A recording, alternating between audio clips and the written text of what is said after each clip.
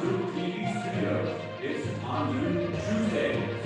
Your host, Tiffany Jernigan. I, I still think it's fun every time that happens. I, I still miss the one that Bob had though. Bob just sounded it, it's just so much better as Robert Brindley. right? But that's okay. Poor, poor Bob. He's not with us anymore. Oh, that's so sad every single time that you say that. Doesn't get any better. Well, this is what our second one in February. Time just kind of flies by. right?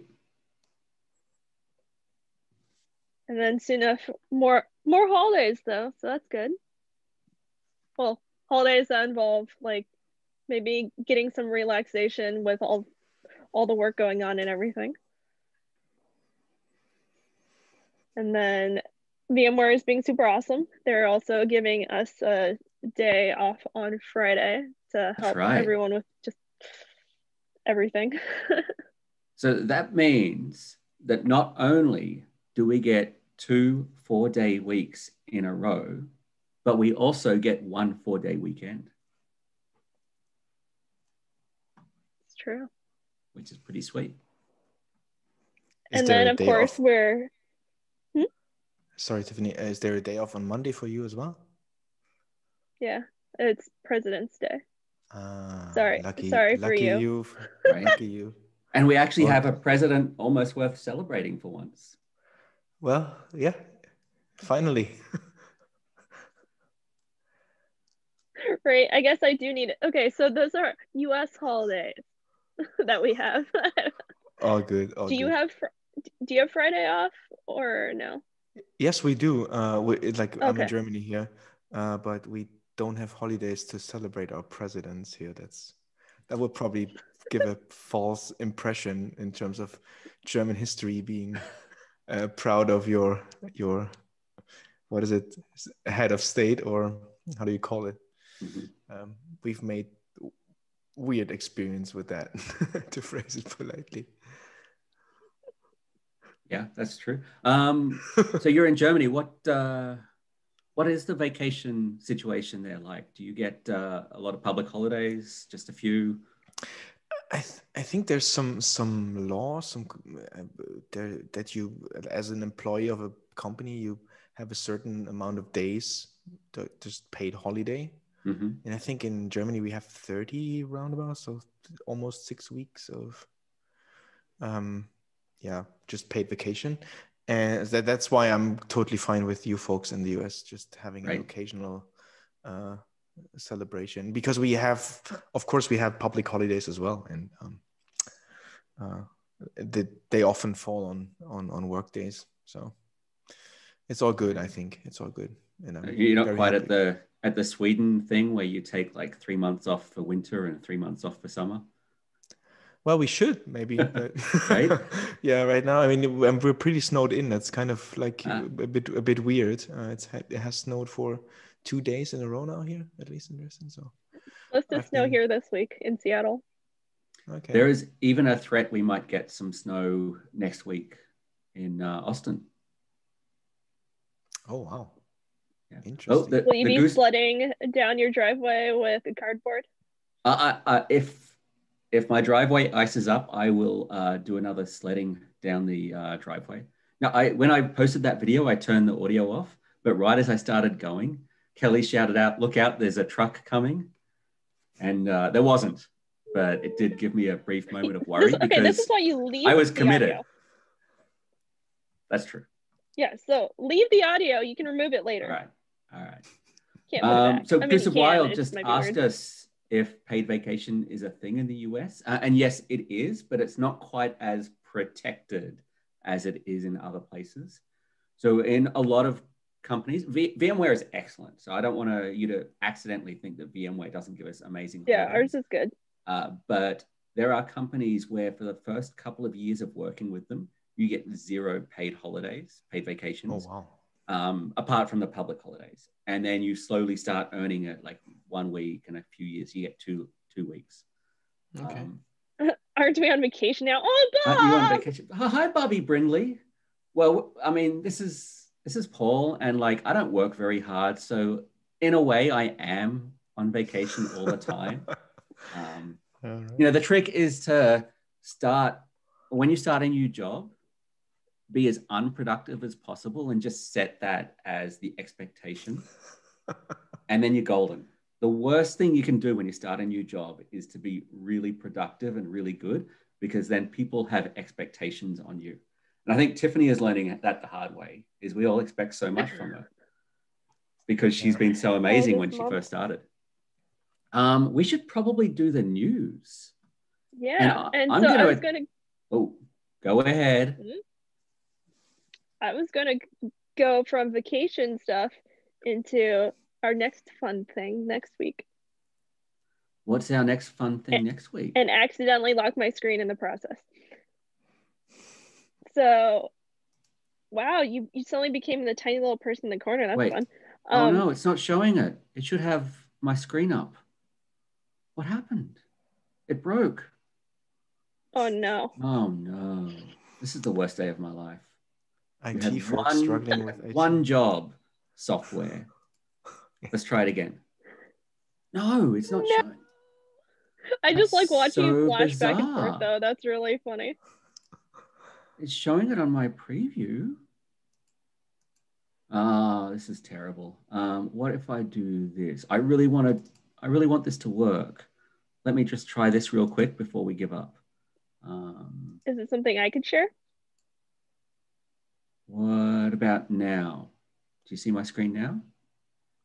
Nope. Still no? This is the worst day of my life. All right, I'm going to do it the old fashioned way, and I'm just going to do a screen share. Um, it was going to be cool because it was going to pop up behind me. But sadly, uh, Zoom and OBS decided not to play uh, nicely together. That's okay. Uh, I'm going to share my screen and I'm going to share this right here. Oh, All right. So, what is going on?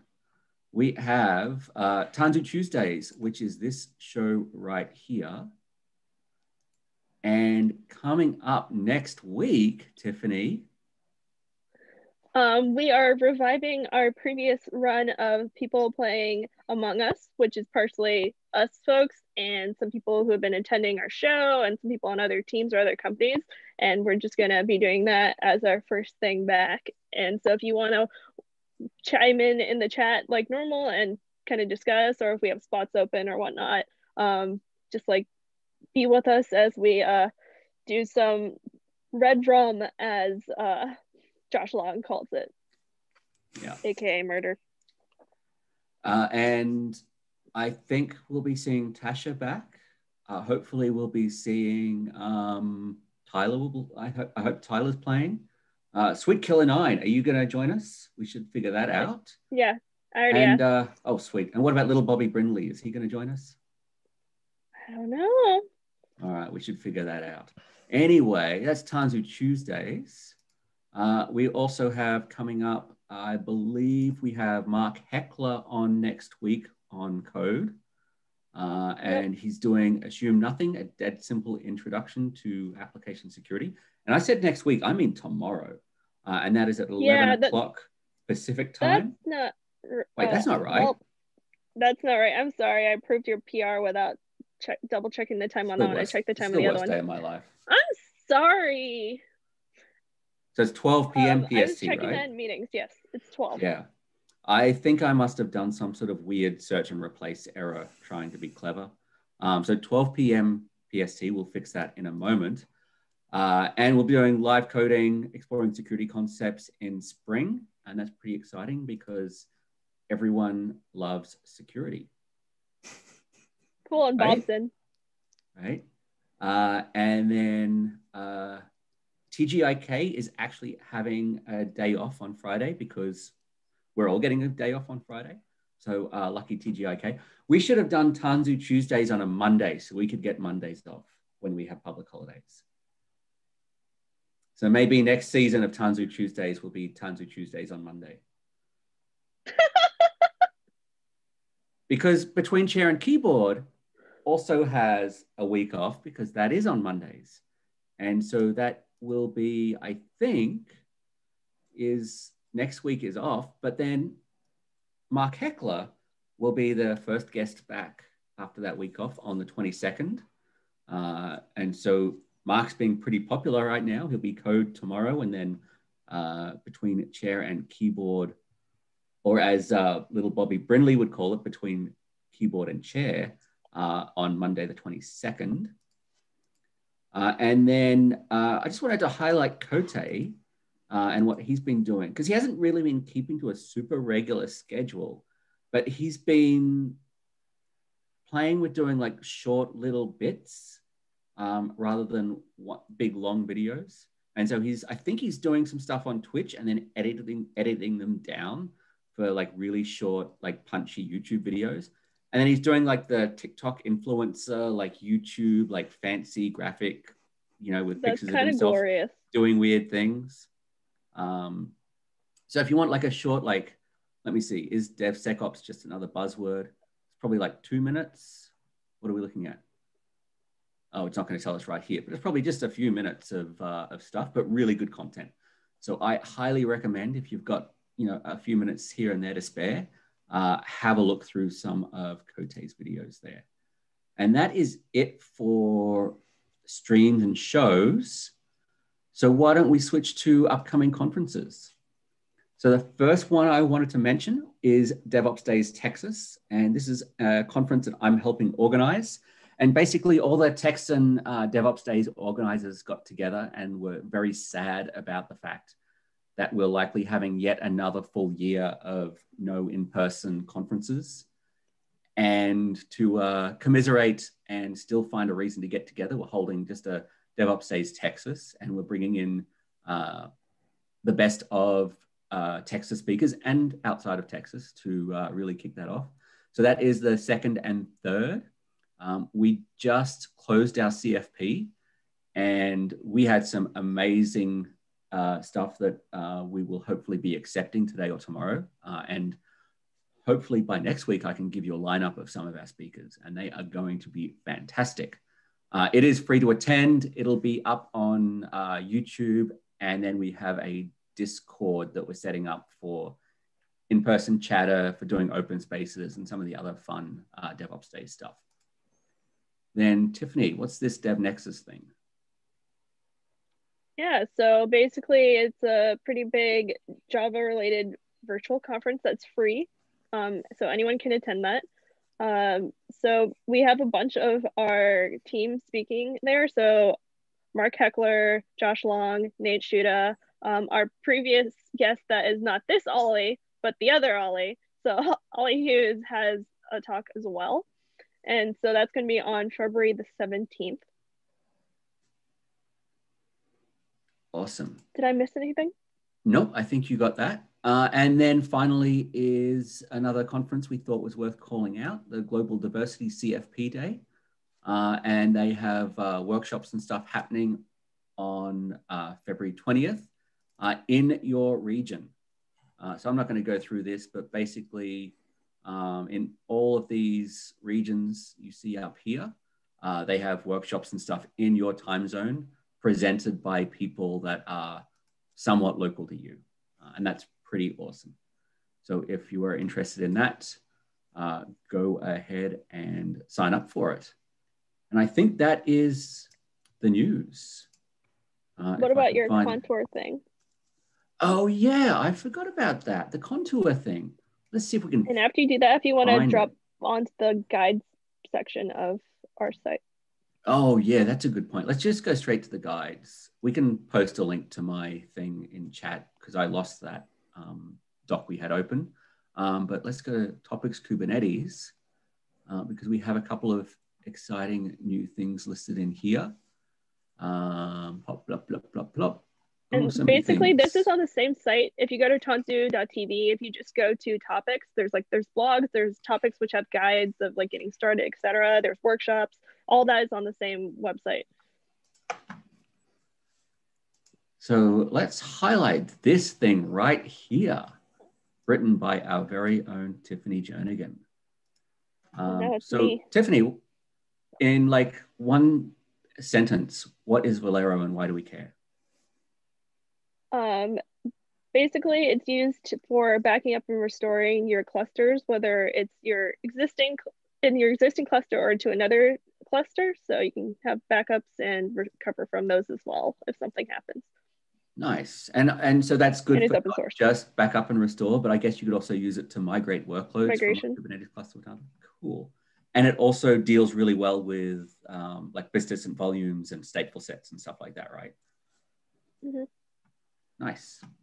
Yep. Um, we also have some new Contour content up there, and we'll post a link to. I just did it. There was a Contour 1.12 or 1.12 was just released last week, and so I did like an hour and a bit stream of just playing around with that. And so I installed it using the new Contour operator, and then tested out some of the new features like uh, rate limiting and uh, different types of load balancing uh, techniques. Uh, and it's really, Contour is really starting to close the gaps between uh, ingress and uh, service meshes. So you can get some of the features of a service mesh without needing to install 80 billion containers to get Istio running. Uh, and that's always a good thing. And I think that is definitely enough of the news. So let me stop this. Yes. And uh, Oliver, why don't we, uh, why don't you introduce yourself? Who are you? Where do you live? I think we've kind of covered that, but go through it again anyway. And what do you Yeah, do um, here? Um, I'm Oliver Drotbohm. I live in Dresden, Germany, and I am part of the Spring engineering team and have been for over a decade actually. Um, there's this funny thing when when when we usually met at Spring One and we go like for dinner um, as a team. It's usually the most senior person, not meaning in terms of like job levels, but like who's the longest with the company uh, sort of has to take the bill and um, that one year when it first hit me was kind of like oh wow. Well i'm i've been around for a while. Um, i of course can expense it but still it was kind of a, a bit of a surprise. Yeah so i've been doing this for quite a while. Um, i have been leading the spring data projects for most of the time. Uh, but someone else is like Mark Paluch is taking care of that. I've handed that over to a team member and am busy with all things framework and architecture these days. So everything that has architectural impact in the framework, like some bits in Spring Framework itself. Uh, we're going to get to talk about this, um, but also in the uh, ecosystem around it, like Spring Data projects or um, connection to domain-driven design, um, or even R&D efforts that sort of are not yet tied to the framework um, yet, um, but might be in the future, exploring space here. So that's kind of what I've spent my my days with these days. You're For those of us who aren't super familiar with uh, Germany, Dresden is in the south, right? It's Southeast. in the in the east and then in the south. So it's like one 100 miles from south of Berlin, basically. Mhm. So so you can Yeah, get I caught a train from Prague to Berlin, and I'm That's- pretty sure I passed through Dresden. yeah, that's that's that's going Yeah. through it. Yeah. Uh, and Yeah. I, I guess I don't think it was quite Dresden, but there's like a a really nice river with all these like really nice like I don't know vacation properties and hotels and stuff. That's the River Elbe, I guess. Yeah, it's Mhm. you. You the train from Prague to to Berlin slash Dresden um, goes goes along that, and it's pretty pretty nice countryside, especially in uh, late late late summer when like all the trees are Mhm. getting colorful and yeah, it's a nice ride. Yeah, I remember doing that train 'cause it was from going from one conference to another, so I didn't have a lot of time. But I remember Yeah. thinking this would be an amazing place to spend uh, a few days in in the middle of summer to just It's relax. nice. Definitely, yeah. You haven't been. I've been to Prague and Berlin, but I haven't been to Dresden, and I've also been to Cologne. That's the But- like quite the op- other Hamburg. side of yeah yeah okay Yep. yeah all nice cities actually.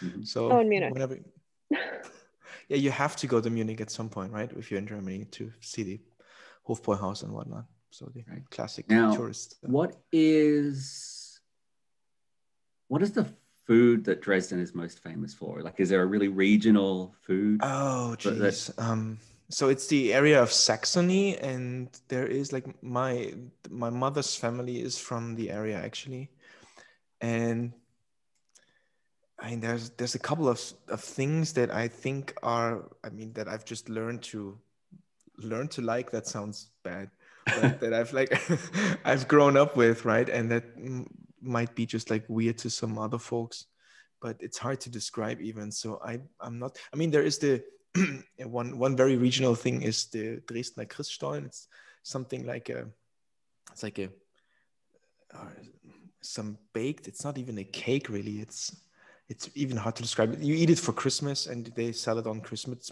Christmas markets, and I have to look that up. What is that thing Yeah, you called? should- You should uh, you should share your screen and show how it to to type us. that.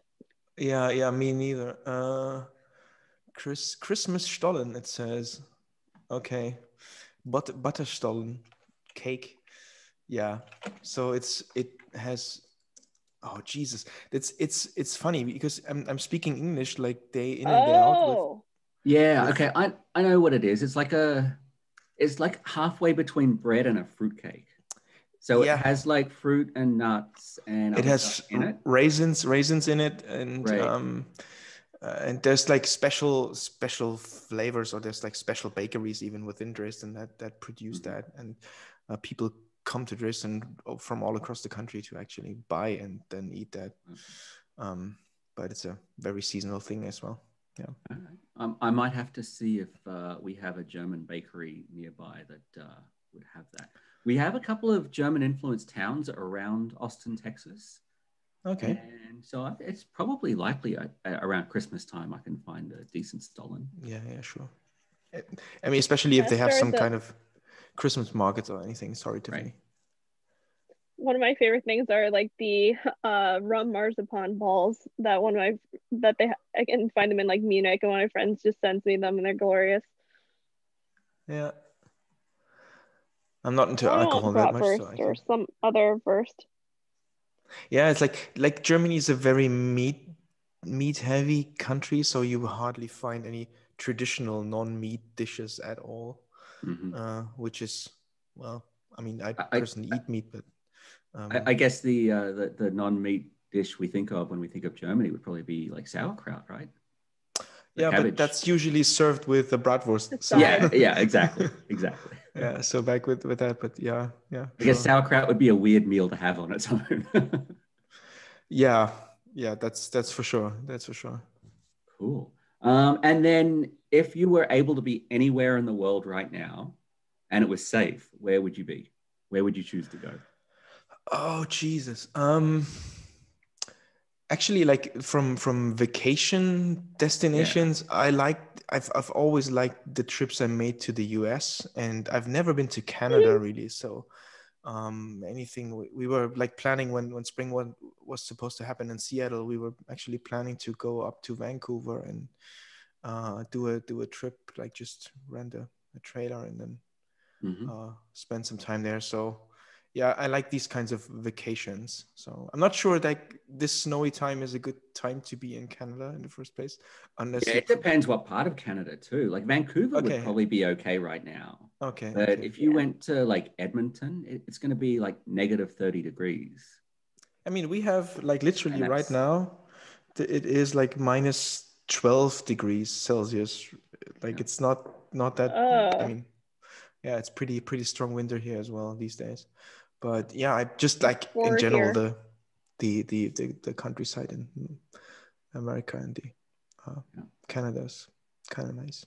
Tomorrow is one and the low is negative or not tomorrow. Thursday through Saturday is one with lows between negative four and negative two and snow. So that's gonna be interesting. In Seattle, Yeah, yeah, in Fahrenheit. No. Oh, you you translated. Good. Look at you. Yeah, we're going to have a couple of sub-freezing days in Austin next week, but we also had a 30 degree day last week. So you know, and that's Celsius. So who knows? Um, Yeah. All right. Well, I think that's our chattering. Definitely enough for us. It's 125. We've we've been talking amongst ourselves for way too long. Right? All good. yeah, the, the, good. the, the people are getting restless. They're sick of hearing uh, Tiffany and I talk. So why don't you, Oliver, share your screen and take it away?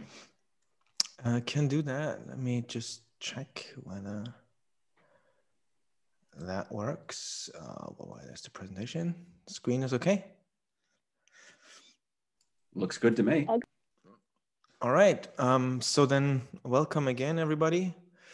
Um, as I just mentioned, I'm, my name is Oliver Drotbohm. I uh, work in the Spring Engineering team, and what I would like to like talk to you about this evening, this morning, depends on where you live, uh, is the the Spring application events support. So, just to give you a bit of context and um, what we're going to talk about. So.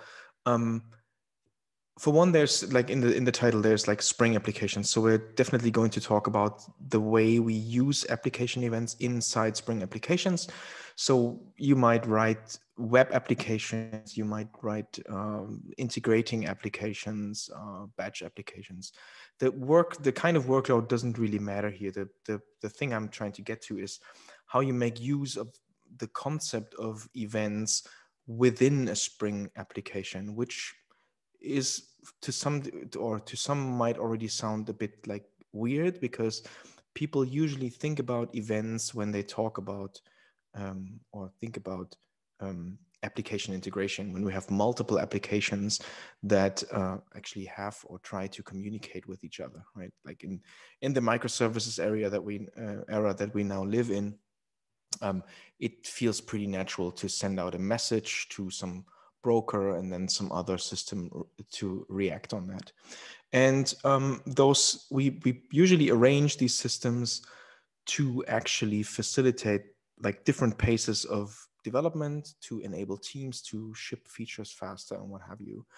But oftentimes the, those those those arrangements with including multiple systems and distributed systems, they introduce a lot of overhead right in terms of like okay we need some extra infrastructure like a message broker and what have you. And i've spent a, quite a bit of time in the recent years on thinking of how we can actually make the usage of or make use of the concept of events within monolithic applications in the first place. So that doesn't mean that monolithic not meaning okay some arbitrary like a completely degrown um, like or uh, um, basically messy system, but rather um, a system that we can maybe compose of uh, logical modules, still deploy as a monolith, and actually use events to let the individual modules in that very monolithic system to um, to to basically let the modules interact, and all of that to maybe just be fine with exactly that or at some point actually extract certain parts of the system. In other words, starting with a slightly more monolithic arrangement. I'm not saying, I'm not arguing you should still build just one system and then basically split that up into five later on. But like any system you build will have some kind of internal structure and you want that to be modular and um, and and potentially be able to split that up uh, at, at some later point if you need if you have different scaling requirements or one part of the system grows too big or what have you. And like discussing that with a focus on how do i actually implement that right? How do i use spring framework to to do just that um, is basically at the center of the talk here. And to um, to do that and to do, to discuss all of that i'm basically trying to take you to three major uh, parts.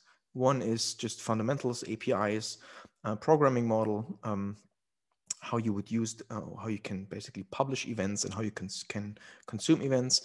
Um, we will have a look at the effect that uh, the pub or publishing events has on like consistency and what can go wrong and what we have to deal with and how we have to basically set up our transactional arrangement around using events. And in the end, I'll come back to sort of give you a, a tiny showcase of um, how switching from, let's say, an imperative style where one component explicitly invokes another component uh, and switching that over to one component publishing an event and the other component reacting to that in a monolithic system, how that changes the, the way the, the system is kind of designed and can be tested and, and taken forward and what have you. Um, I think uh, there is a, a, comment or comments channel open in the in the Twitch chat. So Paul or Tiffany, uh, feel free to interrupt me anytime in case you we have interesting questions coming up. Or if if or if you don't do that, then we probably have time in the end. Yeah, absolutely. Happy to interrupt you. All right. Very good, Paul. Thank you. All right. So in a Spring application, and we're going to see um, like a sample application. I, I, give you the, the link to the GitHub repo that I use for this talk uh, later as well. Um, in a Spring application, no matter what it actually looks like, there are like fundamental abstractions provided by the framework that allow you to publish events and that allow you to consume events. Um, as you can probably guess, like application event publisher is the interface that you would uh, basically use to publish events. And then there's different flavors of listening to events. And I think all of this is best discussed if we have a look at a at an example. Um, again, the link you will get shared in, I think, in the reference section at the end of the slide deck. So what I have here is like a um, um, kind of typical arrangement or an arrangement I'd like to use um, in my in my talks, which is about an, an, an e-commerce system that has some kind of orders to be completed.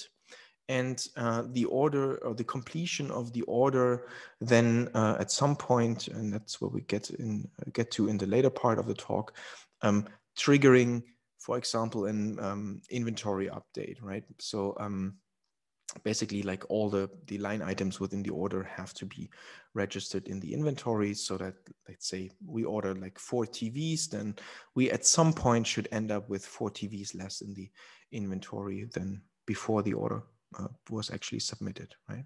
So what you have here is a Spring component. It's uh, just a general Java class. It's annotated with that component.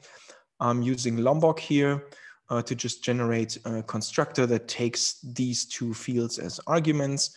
And you see one of them is an actual domain component, like a repository from domain driven design. So it's it kind of encapsulates any kind of data access that that's totally none of our business for now. And um, we have a method here that is supposed to complete the order. So we just, that's being called from the outside. And we then use um, the event application event publisher to publish an arbitrary event. So some other event is just some some Java class. It's an it's an object. Um, uh, nothing. It, it, doesn't even extend any framework specific super type or what have you. You can actually implement uh, Spring Framework's uh, application event class but that's not a necessity anymore. It's more that this thing is available for has been available for historic reasons. Um, right. So you can just like, or in other words, at runtime, you actually get an instance of application event publisher injected into the class through its constructor, and then you just can call call a method on it. Um, we then inv invoke some business um, method on the order. We basically change its state. Uh, we then, uh, I'm just logging st stuff out here. I persist the order. So the new state, the completed state gets uh, uh persisted. And then we issue another, uh, another event basically saying, okay, this order here was completed, right? On the listening side, also, what what does what does that buy us even? Like, um, it buys us that we can write other application components that now don't have the don't have no ties to, let's say, the order management in the first place.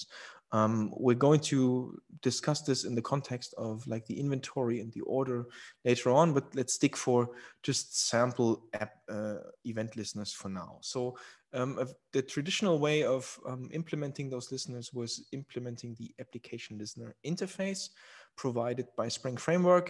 Um, there has been, I actually not even sure when this was introduced, but does it say Spring 4.2 introduced the add event listener annotation um, that allows us to like on an add component class that allows us to express that we're interested in, let's say the order completed event, right? So what happens at runtime now is that if th that code is called here, then the infrastructure, the event uh, broadcast infrastructure uh, in Spring Framework will actually find all listeners that are interested in an instant, like in events of the type some other event here, and it will synchronously invoke, in this case, that very method, right?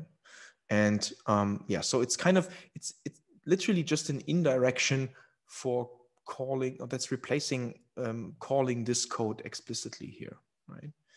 Um, and some kind of like logical decoupling.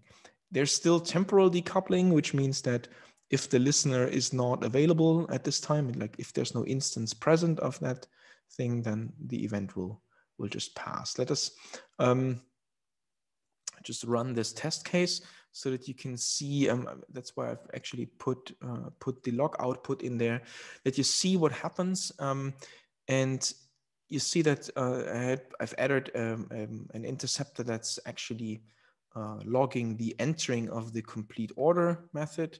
So you see that event was um, published in the first place, so some other event, and it's actually it actually um, you see the log output here, right? Some other event is consumed. It's the output from the one listener. Then the, the business method is invoked. There is this completing order log output here. And then we register, uh, we see the order completed event being consumed by the implementing listener and by the annotated listener, right? So that's, that's uh, this one here and uh, this one here. You have influence over the um, over the order these listeners get invented uh, invoked by uh, just using at order uh, the at order annotation or implementing the order inter ordered interface. Um, so what what you should take from this here is that the the uh, event um, distribution or submission, the invocation of the listeners, are actual or are in synchronous operations. So um, this method gets called and it's the, the, the execution of um, blocks basically here, right? So we're not, we're not seeing this method be invoked prior to the, like every event listener successfully having been invoked.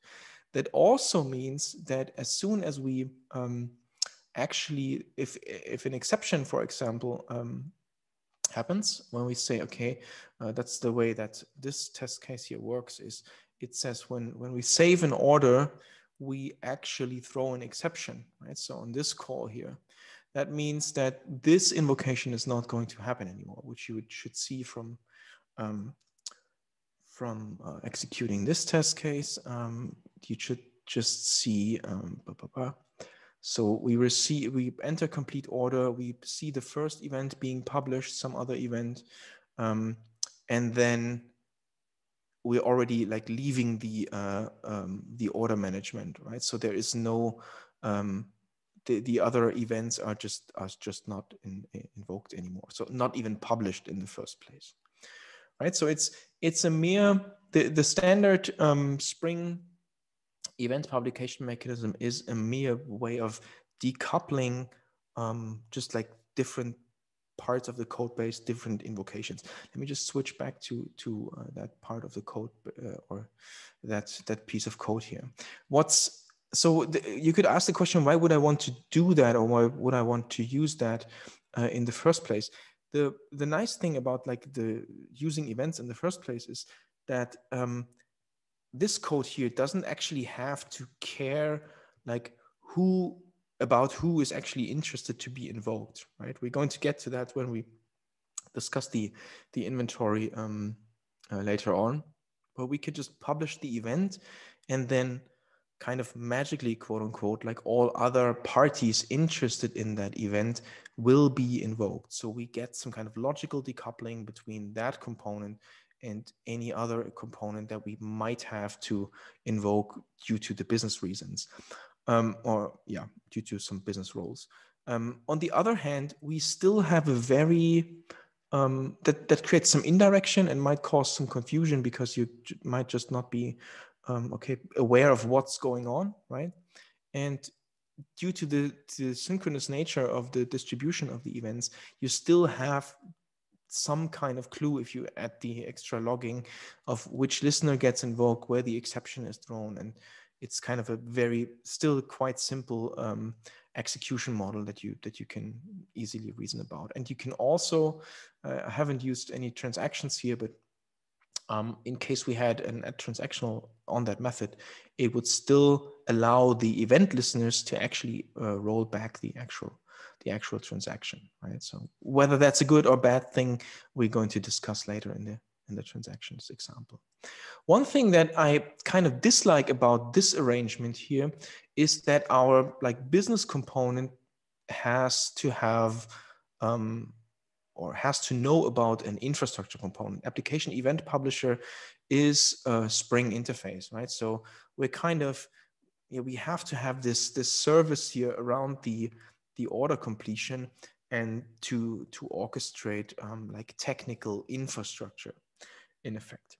So domain-driven design actually rather thinks about events in a slightly different way. And uh, it does so by putting aggregates in or centering like behavior rules uh, around aggregates. And um, so aggregates, aggregates being like clusters of entities that, that have to follow some rules, some consistency rules. And um, Spring Data is one of the projects that has like like developed the notion of a repository or has basically made a offered you a programming model how on how to actually implement uh, repositories, domain-driven design repositories, and what we can do with with that or with that arrangement is that we can actually move the um, that event publication logic into the aggregate, which has some nice benefits that I get to in a second. Um, let's sort out the, the, the, the, technical details first. So what Spring Data provides you is, or are two annotations that you can use on your, on your aggregate class, on your uh, entity, what have you. Um, which one of uh, one of them being at domain events and one of them being after domain event publication. So on the method annotated with at domain events, you expose all the events that have accumulated like let's say across a business operation right you would uh, in case you you we will see that in a second when we um, transfer the order from the state uncompleted into the state completed we register an event in this case here in in within the list of events and we would expose that list of events here on that very method also there is a method to basically complete the unit of work or um, we expose a method to do that, which would then kind of reset the, the, the events, right? And what that basically gives us is uh, the ability to just like, in this case, I'm using a, a, base class here to, to capture or to encapsulate these, these methods or this kind of state handling, event state handling within the aggregate uh, to just call the method register event here and create an instance and I would just like register as the method suggests um, that event in the list of events. But you could, if you if you want to avoid extending uh, that that base class, you could just like build this yourself using the annotations. And if we have that in place, we can actually, or we we move to a programming model that just looks like this. The um, reference to the application event publisher is completely gone. Uh, we can just stick to like only the order repository and um, we can then call the method, the business method on the aggregate. We just call the method complete here. That would register the event within the aggregate. And the invocation of orders.save um, would then kind of know upfront, okay, order is exposing these annotated methods. And that's why the Spring Data infrastructure then goes ahead, obtains the events recorded in the in the aggregate, publishes them, and then uh, actually executes the, the the persistence operation. Right. So that that save that call to save is basically a just like a okay, finish this unit of work kind of thing, and it would would automatically uh, publish these events. Let's have a look at how this just briefly, uh, let's execute the, or you see that just it, it just looks the way it, I just showed it in, in the slides. And uh, we can actually just run a very similar uh, test case that will produce the, not the same output, but it will just show you that the, that the events are actually um, um, received order, order completed for the yada yada aggregate class. So the annotated listener is invoked, and then you see that um, the actual insert statement has happened here, right?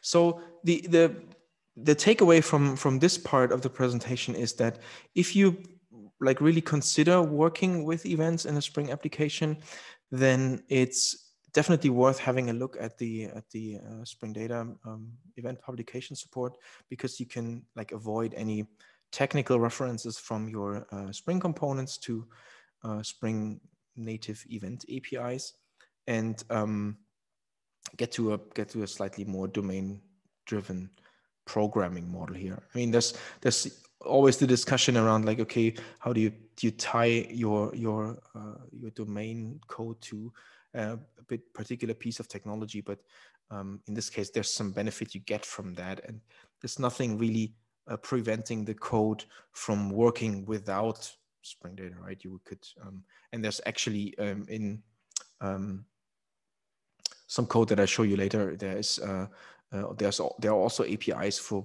that allow you to basically verify that events have been collected on an entity without actually invoking that, that Spring, Spring Data ceremony, basically. All right. Um, transactions. So, so far we've discussed that like events are actually published in a synchronous uh, way. So um, as I said, it's basically an indirection via an event bus, but still like the event publication is happening and it's um, like as I said, synchronous, and it, it the event listeners have the chance to actually interrupt the execute the flow of execution. So what what does it look like from a just schematic point of view? So we have a um, an invocation of a transactional method. Let's say our order complete method is an example of that, or will be an example of that. And we, from that very method, we publish events. So that event gets published immediately. And Spring Framework invokes all of the event listeners that, that are registered to be interested in that event. So once all of these have been invoked and successfully, uh, um, yeah, or completed successfully, that method call is returning and the method basically goes on doing its thing. And at some point, um, like if the method is is left uh, and and no exception is happening for now, uh, there's a commit happening at the uh, at the end of the transaction, right? Which means that all the state changes that have been made by the event listeners are part of this consistency boundary. So coming back to our example of the, the order completion updating the inventory, that means that we now like in a single transaction commit the change of the state in the order and also the update to the inventory, right? Assuming that an event listener is actually updating the inventory like state for the particular products contained in the order. This is a blessing and a curse at the same time, right? Depending on you who you ask. It's a blessing because it's nice and simple. It's just like straightforward thing. You like in case of errors, we're going to have a look at those in detail or those cases. Um, we still have like consistency like across the different functionalities in the system but at the same time it also incentivizes adding more and more stuff to the transaction like broadening the transactional boundary. And at some point this can actually grow like too big. And especially if uh, the logic in the event listener is not like quote unquote crucial uh, then you it might even raise the question of, uh, of whether we want the event listener to be able to actually break the or the, the, the transaction right? One thing i didn't mention um, yet is that there are a special kind of event listener called transactional event listener. I think we didn't there's a bit of a or it's not the best naming i think we, we found for this thing because it doesn't mean that the event listener itself is transactional but that the event consumption is delayed until a certain transactional outcome. By default that is a commit. So let's take the again the order completion example. If we want to send out an email saying to the or basically telling the customer oh your order has been completed then we don't want to do that in an event listener because like the event listener would like for one it interacts with infrastructure with the uh, email. Um, let's say it would interact with the uh, like smtp server. So that which might cause the transaction um, to to just run longer than than needed but even more problematic like if a subsequent event listener then fails and the the transaction rolls back, then we have sent out that email and uh, we just have to send another one to basically say, okay, well, we didn't mean it that way. Um, so it we, we much rather want to wait for the, actual uh, transactional commit to successfully happen and then consume the let's say order completion event and turn that into an email that's being sent out to a customer. For that, there's like transactional event listeners. Um, they are triggered on transaction commit. And then finally, the or eventually that, that method call actually returns to the calling side. Right. So there is already uh, like infrastructure in place in Spring Framework that kind of delays the event publication to the point of the transaction having successfully committed or rolled back. That's that's a matter of configuration on the actual event listener. Let's have a look at, at what could go wrong in, in, in, in those scenarios. Um, if the service itself fails, like this thing here, like if, if some, something in that method goes wrong and we see an exception, then we're still fine, right? Because like event listeners before that method might have changed state, but that transaction is rolled back and that change is rolled back as well, right? Uh, if if the event listeners have like are all ordered um, to happen after that that method, then um, okay, they're not even invoked in the first place, so we're all fine. So um, we get a rollback, but the system is still in inconsistent state, so we don't have a problem here. Um, if an event listener fails, like in um, a non-transactional event listener, so one of the uh, ones above here, um, we li actually live with the same scenario, right? So that that that listener might have like issued changes to the database, but in the end, the commit rolls back and those changes are rolled back as well. So it's again consistent state. If a transactional event listener fails, that's a slightly different story, right? So we um, we already have, because at that point we already have committed the transaction. So our order is already is completed. And if now the transactional event listener fails, not only we might end up with like invalid state, we also lose the publication, right? So let's say we have this order completed event and we're supposed to send an email and we can't send an email because either the, the listener, there's some exception popping up or the system crashes in the first place then that event is kind of lost. So we're not, there's no, no way to, to recover that uh, from that for now, unless we apply some different measures. I'm going to um, uh, basically sh yeah show you um, means to to accommodate for that in a, in a second.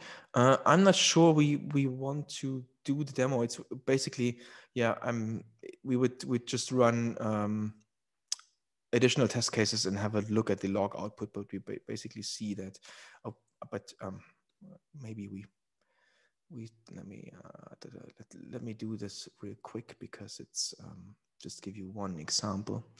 Uh, transactions, um, for that I will have to uh, basically turn on the transaction logging and that should give us a the test should complete, but we should see that this is probably the most interesting one here. Uh, the one that um, actually has one of the listeners fail. And that should it it still succeeds, but it should actually um, see that or show you that the um, the transactional event listener has received the order completion event and it's been configured to fail in the test case and that's going to be logged in the uh, like from the framework. That's because it's like showing you that okay the transaction synchronization that actually submits the event threw an exception. And then we're basically um, we're basically done right? There's another listener that's actually just uh, consuming the event quite nicely. But for that particular transactional event listener invocation we're losing the event or there's no way to to really recover from that. Um, all right. So how do we deal with that? So the the fundamental ideas, and this it's been part of a bit of R and D work uh, over the last years, is that if we already have a transactional resource in place, uh, which like is we have if we start with that transaction in the first place, we actually know about all of the transactional event listeners that are interested in an event if it's as soon as it's published right? So we can we, we know about the transactional event listeners that are for example interested in that order completion event. And we can within the very same transaction like the the original the the blue the blue area that i had in the in the previous slides um, we can actually write an event publication log. So we can um, within the accept uh, within the transaction issue additional database updates to say, okay, this event listener has to be invoked with that event. And this transactional event listener has to be invoked with the very same event or what have you.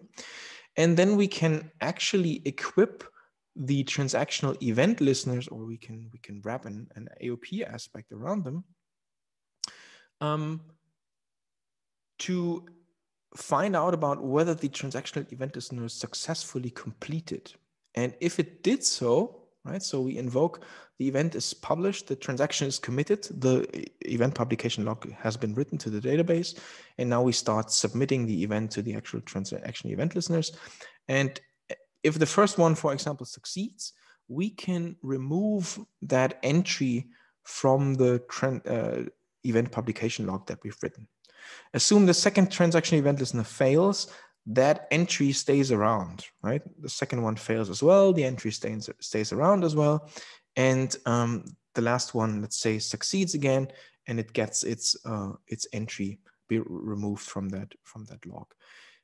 That leaves us even in the in the error scenario. That leaves us with um, that event publication log and us being able to retry the events or let's say the application crashed. When the application restarts we could uh, scan that application or that event publication log and then resubmit uh, the events to the transactional event listeners right? So they of course then have to be written in a way that um, uh, they can be invoked multiple times. Like like there's some has, has to be some idempotency built in uh, in case they actually did the work already but just failed to eventually succeed, right? Or see that that um, acknowledgement basically of, of its successful ex execution.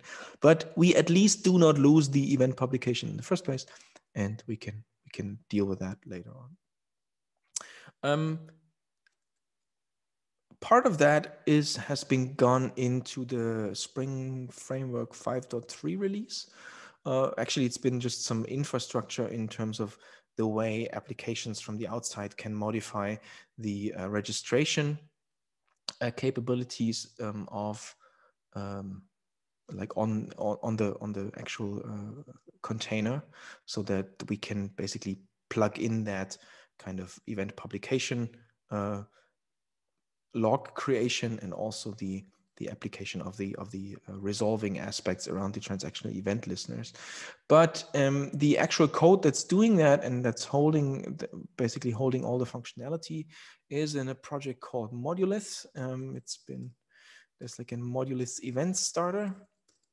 And we're going to uh, you just have to add that to your um, to your uh, Spring Boot application, and it will automatically uh, configure a couple of um, infrastructure components that are pluggable strategies. So I think this at some point has to be renamed to the events-jpa starter. So for now, there is an implementation of that registry that works with JPA, but you could also imagine uh, having something like JDBC um, to be supported.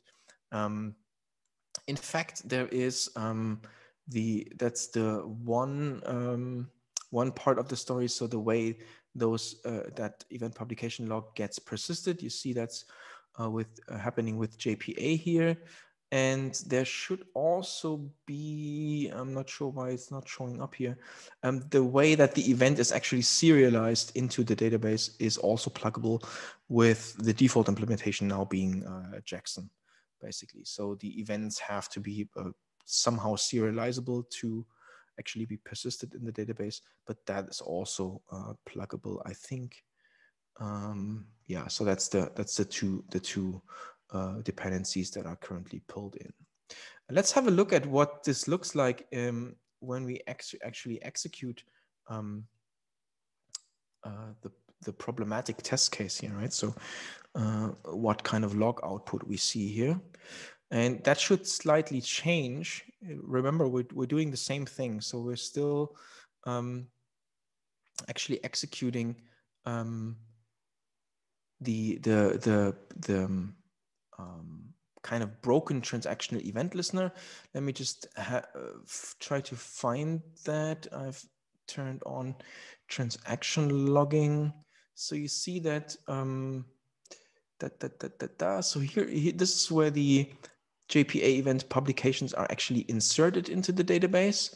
Um, then one transactional event listener actually um, succeeds and that's why the why the event publication gets updated with a completion date so we basically know when that happened and then there should be this is the final output here um, we actually leave the the entire test case here with one of the event publications unfinished that's basically the one one of the two that we originally inserted that has not been uh, finished i'm not sure I, why there's no output for the for the uh,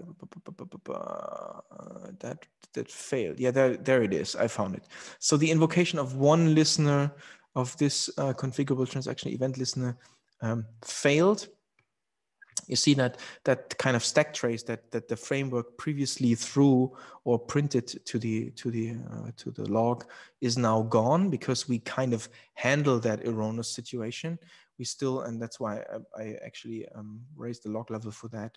We just have that one line of basically telling us, okay, the listener failed, which means we do not mark that uh, event publication as completed. And when the application shuts down, that this uh, event publication registry basically tells us what kind of publications there are still outstanding. And I'm using an in-memory database here, so um, I cannot really restart it. But as soon as we restart the application, those events would would be um, resubmitted to the relevant uh, transactional um, event listeners again, right? Because they're kind of outstanding publications. All right, um, that's it. The the the library is or that that functionality is part of the of the Moduliths project. Um,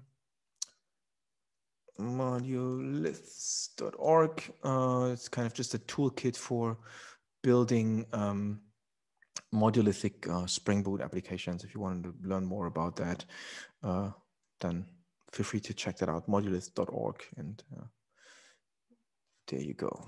I think I have the links in the in the in the uh, back of the slide deck actually. All right. So that's the the transaction topic. Um, there's of course like a couple of recommendations to make, and um, something I haven't mentioned yet is that these event listeners can be pulled out of the synchronous invocation by just uh, annotating them with at async, um, which basically also takes standard event listeners out of the the I can break the transaction um, loop. Um, and if if you have like transactional event listeners, you usually um, um, you usually want them to be at async as well because like the uh, even interacting with a with an email server, for example, you still don't want to to block the the uh, the actual uh, main application thread um, for that. But um, the the transaction publication event publication log gives you a gives you a good a good um, tools to actually deal with error scenarios in, in that case as well because the publication would just be um, registered either way um, right so let's round this off with um, some or having a look at the architectural imp, uh, impact that this has like moving to an event-based um, way of, of working e like with application components even inside a, a monolithic uh, system. So just to zoom out a bit again, um, let's take let's take the case of uh, the order completion um, having to trigger an inventory update uh, as the business case here, right? So we some someone from the outside decides, okay, the order is now completed, and that is supposed to trigger um, the uh, the update of the inventory, and that creates some kind of like it doesn't have to, but it like if you if you're not really careful, that can already like create a cyclic dependency between the two the two subsystems, the two modules, or whatever you want to call them. Um, because the order now has to know about the fact that it needs to invoke the inventory. So we're kind of in the pre-events um, world for now. And um, I show you the, the, the way that the code looks like, and it's it's pretty pretty symptomatic for a lot of code I see in code reviews when I when I have a look at Spring applications. And the inventory, by some means, having to be able to traverse the order and the the line items in it and that already creating some cyclic dependency here. Um, I think that the the the need for the order to know that it has to invoke the in inventory is the more invasive part and that's the, the thing that we would like to get rid of and we can do so by issuing an, an, an, event let's have a look at before we con continue with that let's let's jump right into the code because that's even best discussed with looking at the code so um, I've tried to basically simulate like the before state in that before package here. So the team, quote unquote me, has created like two different components in the system, one being the inventory. That is just, would just basically allow us to, okay, update the inventory for the order, right? In in here, you you of course have some business logic. You would have some some means to traverse the order, the line items in it. But I'm just logging uh, that the method was called here for now, right? It's it's transactional, and the order management usually um, that's very stereotypical for for application code. I see it knows about um, other uh, abstractions within the very same module, like the order repository but also about other modules, high level interfaces like the inventory here, right? And then the arrangement naturally leads to this thing being transactional. And then um, our we, we basically modifying the state of our very own aggregate. And then this is where basically all that that kind of transitive functionality basically will would, would have to be plugged in right? So the order management has to know that it needs to call the inventory to actually do that. That that has a couple of consequences and pros and cons.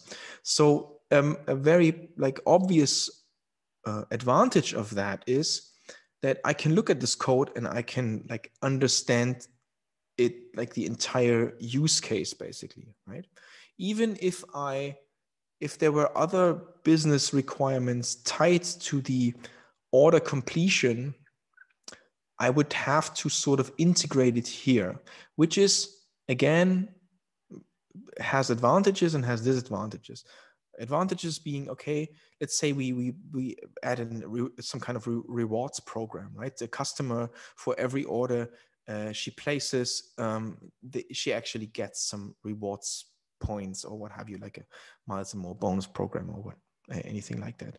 We could actually let an entire team uh, build that functionality in a separate package. We could nicely separate that, but we would never get this functionality integrated into our system without adding the dependency to that new functionality up here and then invoking that other functionality here, which then again makes it a nice read, right? So we, we are able to understand, aha, if you complete the order, we have to update the inventory and then we trigger the rewards program what have you. That's that's kind of nice. That's the upside. The downside being that like to bootstrap order management, we actually now not only have to provide an inventory, we also have to provide an instance of the rewards program and all other functionality that's like coming up and like being centered around core business events, quote unquote uh, like the order completion, and they would all end up here. There's a certain kind of gravity coming from from that code. Testing becomes much harder, right? Because we might have to mock all of these uh, different uh, different uh, dependencies, and um, you could even argue that why would the order completion process even have to know about like all those like third uh, functionalities um, that that are centered around it right? Would i also uh, because that being a, a, transactional method right we're, we're basically creating a unit of work around all of this. And i think i mentioned that in the beginning. Do i really want something like the rewards program to be able to but because there's a bug maybe in, in that functionality to actually break the transaction and complete the uh, um, prevent the order from being completed in the first place right? So it's also about like the the risk of of additional functionality actually breaking the primary functionality. Um and yeah so the let's have just have a look at um the also let to round this off uh, or that's that part of the story is how I would actually test that, right? Because I said it would become like more complicated the more stuff we add. So the the usual way this stuff works is we use this. We want to test the order management, and we have all the dependencies mocked to by some means, and then we define some behavior on the mocked instances, and then we call business methods, and then we basically verify uh, other inventory, other behavior actively invoked. And that's like, you see this, this is brittle because as soon as we add a dependency, we have to touch all of this.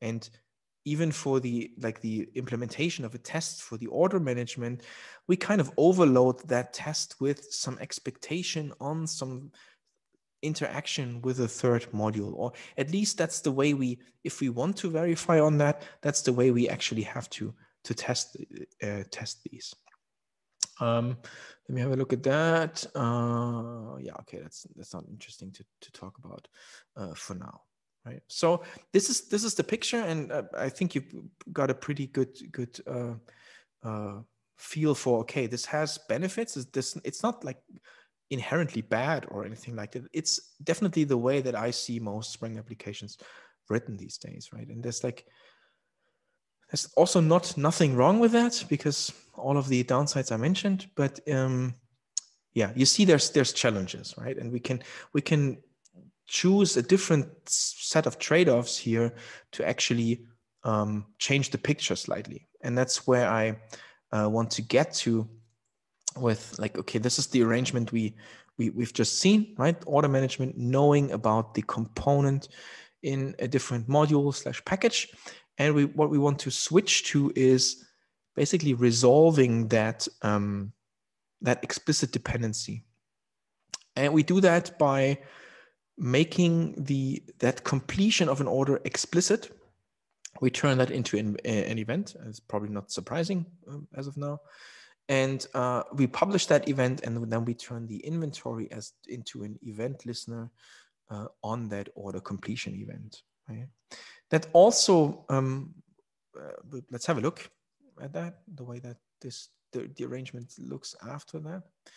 Um, so the dependency from order management to like anything but its own module internal or package internal components is just completely gone, right? So it's we're purely focused on the, the, the, the functionality within order. It's not much here, but because it's an example, but there could be. And um, the inventory has changed to just contain the very same stuff, but it also exposes an event listener, right? You wouldn't necessarily have to have that method in that very component. It could be a separate component if you want to, but that's just just details, right? And that like of course significantly changes the picture, right? It's not immediately obvious what else beyond the actual core um, business logic is going on here, right? Because we're not even seeing that an event is being published here. I'm I'm totally um, uh, accepting that to to be considered a downside by some folks. It usually depends on like what kind of code you've been uh, used to when when uh, uh, with working with with that code uh, with with with these different styles right it's a bit like back in the days we had like xml configuration versus annotation configuration and then like almost like tribes being built around these different approaches. But um, um, yeah so it, it basically makes this a bit more clear here but at the same time the the integration story is is a bit lost right? So um, funny thing or the interesting thing is that also the way that we test this stuff changes. Um, one being uh, uh, I would wanted to show you the order module test in this case here.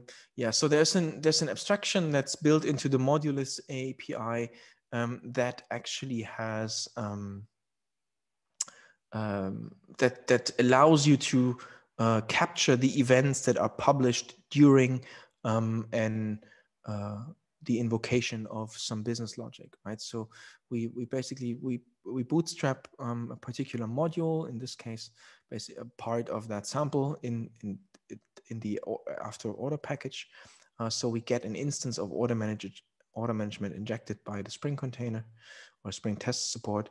Then we invoke the business method and we can actually, we then just quote unquote um, test that a particular event was published for that particular order that we created in the first place right so the, the the interaction model changes from testing that a particular other component was invoked to we just test that a certain event was published and then you could also on the on the inventory side of things here you could uh, basically test that um, a particular event would trigger some state changes in the in the inventory, right?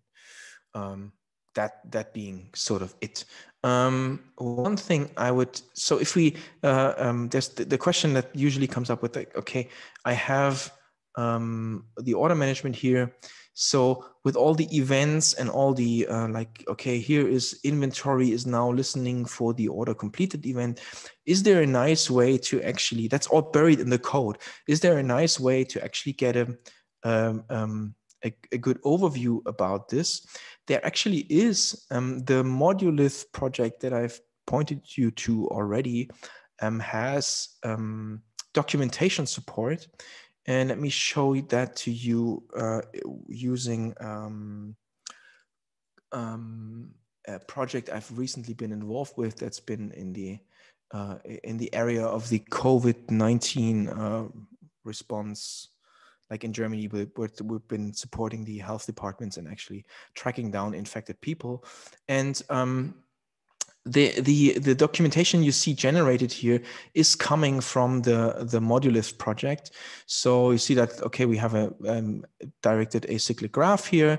It generates these kind of as we call them um, module canvases. So basically listing all the spring components that are inside a very package and uh, let me uh, which one is a nice example?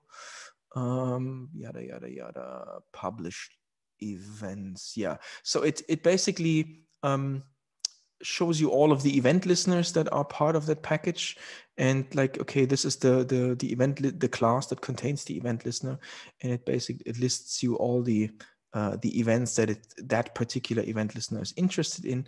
And it also um, explicitly lists the published events and it even finds out about the um, the uh, the aggregate and it uh, the the methods that actually register the events. So the stuff, the Spring Data stuff that I've shown you before, that would actually um, be um, discovered so that you find your way to to actually the point that actually creates the the event. So um, there's a kind of neat way to. Uh, I'm not sure there's a yeah encounters like contact uh, infected people that had encounters um, is is uh, listed here. So there is support, and if you want to check this out, um, be sure to check out the again moduliths.org uh, uh, project that has all this stuff in here. Uh, it's basically documentation about the modules. It's not only PlantUML documentation, but also those those um, uh, module canvases.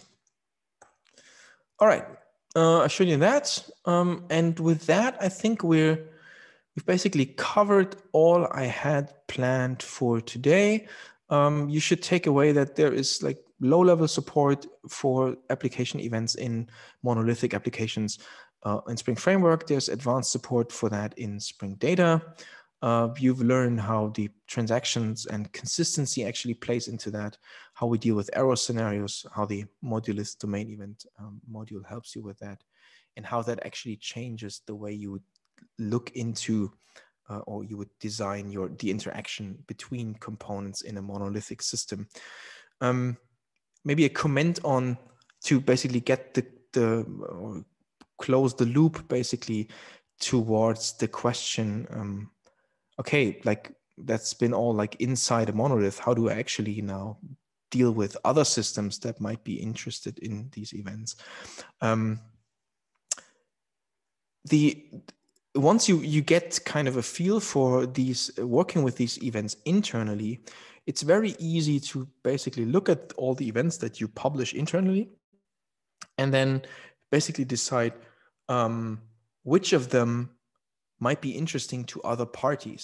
And then just like for for the components that publish these events write an uh, an event listener an internal event listener that just like finds out about the event being having been published internally, and then using a Kafka template or what have you, uh, any kind of technology integration to actually broadcast that event into some infrastructure that will then take care of uh, taking the the event to other like systems to to actually uh, or to, to get them consumed by them.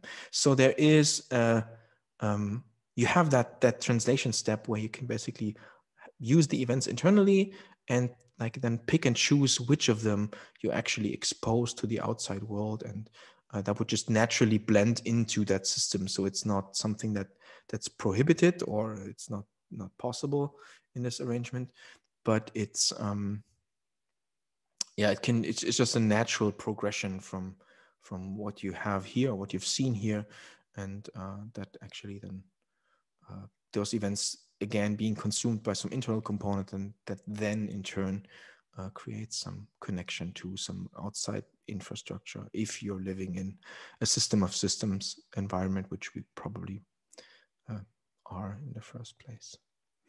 Um, yeah all right. The sample code that i used for the for the talk is on that in my personal github. Uh, the modulith project is living is living there as well. And um, yeah, I've discussed a lot of this stuff in a more architectural context in a talk called Refactoring to a System of Systems. Um, like there's a couple of recordings of uh, of that one in uh, on YouTube, but um, I think I've just chosen some some random one. Not sure why I've chosen that one particular. But are there any questions so far, Paul, Tiffany? Uh, we haven't had a ton of specific questions. We had some discussion okay. about living in uh, uh, Michigan, and we also had okay. some discussion about modulith.org. Okay. Um, there was some confusion because we Tiffany posted a link, and when you clicked it, it went to a HTTPS website, which was not um, but it was in German and then went to just straightmodulus.org and that redirected to the GitHub. so um, we're I'm, assuming I, there is some sort of Apache I'm- or Nginx server. Yeah, yeah, yeah. config. I might, I might have the. If you use it that way, I think it might just end up on the web space. I, well, not that module forgot the list. There's an S. And when you do it that Yes. way for a font, or so if you remove the www and do HTTPS, there's like three Oh. things it oh. goes to. Yeah, it goes to something about Harmony Lodge or something. Oh yeah, that's that's a band of mine, like a music group. Wow, Jesus. Yeah, and you have to like go to it, like you have to proceed with the scary thing. Oh yeah, yeah. Okay, so don't do that. I have to fix Yeah. that. That's just like me being unable, not not being able to properly set up websites. Um, so I I'd happy uh, happily consult me on on architectural advice, but not on setting up. This this is why you're a Spring developer and not a. Uh, Yes, yeah. Oh, that's interesting. Yeah, that's like okay. That shouldn't be there. Sorry about that. It's all but good. uh, yeah, no, no. Uh, just moduliths.org and or just um, if you Google for it on GitHub, then you yeah, we posted the GitHub uh, direct link as well. Okay. All right. Cool. Yeah. So if you have any questions like later on, ping me on Twitter, um, on uh, email, just Google me or just open up tickets here and moduliths questions, what have you, Stack Overflow questions. It's all good. Awesome. Yeah, we're getting stuff like nice stuff and great topic. Thanks for sharing. You're most welcome. Yeah, usually I try and ask some of my own questions through a talk, but I, I'm not really a Spring developer. The closest I come to writing code is like a for loop in Bash. Uh, and so a lot of it, like the concepts were interesting, like uh, talking Yeah, about yeah. Uh, moduliths and stuff, but a lot of the Spring code was uh, Yeah, uh, sure. over, over my head. So, and I didn't want to interrupt with like super basic questions that Oh, everyone else in the world would already understand. I'll get back to you with my bash questions. yeah, I'll, uh, I'll I'll help you uh, configure your websites, and you can help me with. Oh uh, yeah, that will be helpful. introductory Spring, Oh yeah, it's good. We can we can do that, Paul. right? Cool. Tiffany, We any need to figure uh, website stuff too. Anything going on for you? Uh, any questions? Any comments? Any I'm uh, even ad- more newbie on? Spring than you. Hey, I wrote a Hello World app in I Spring learned- once, so I'm at least a junior developer. So proud of you. So yeah, I learned definitely was learning some new stuff here, but not I don't know enough to be able to ask like actual like spring meaningful questions that aren't just like very basic. All good, folks. All good. Cool. This is cool though. Um, all right. Well, unless anyone has any final words of wisdom, we can probably wrap this thing up. I'll be fine with that. All right. Cool. Uh, so let me go ahead and hit the magic button and let's end things. All right. Thank you for having me. Bye.